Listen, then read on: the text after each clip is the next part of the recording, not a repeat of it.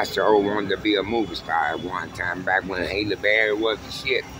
But if I knew what I know now about like Tyler Perry and Oprah being the devil, see, I ain't no way I go nowhere near Hollywood now. Them folks got too much money to be in that position and be the devil.